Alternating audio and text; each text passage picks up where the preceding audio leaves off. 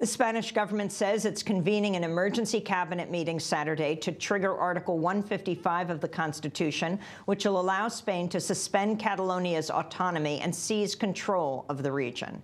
The move comes after Catalonia voted to secede from Spain in a referendum Spain has called illegal. Article 155 has never been used before in Spain's modern democratic history. This is Spanish government spokesperson Inigo Mendez de Vigo. El presidente del Gobierno ha convocado para el próximo sábado, en sesión extraordinaria, al Consejo de Ministros.